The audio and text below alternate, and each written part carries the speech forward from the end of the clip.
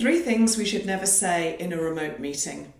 Number one, I wasn't listening.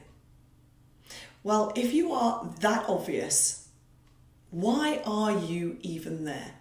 Because we should go to meetings to demonstrate that we're listening, to get further information, to get a better understanding of some of the issues and challenges that are happening in our business.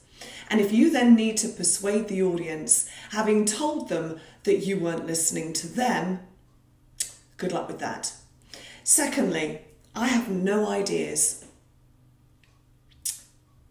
We all do. What you're saying is, I'm not creative.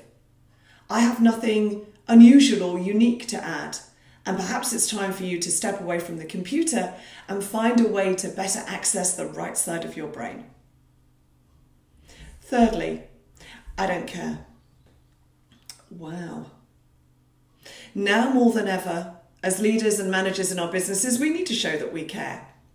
So, how can we do that? By showing up, being present, paying attention, offering ideas, suggestions, tips, learning, experience, resources, contacts, connections, all of which show that we do care about those who work with and for us. These are three things we shouldn't say, whether it's in a remote meeting or anywhere else.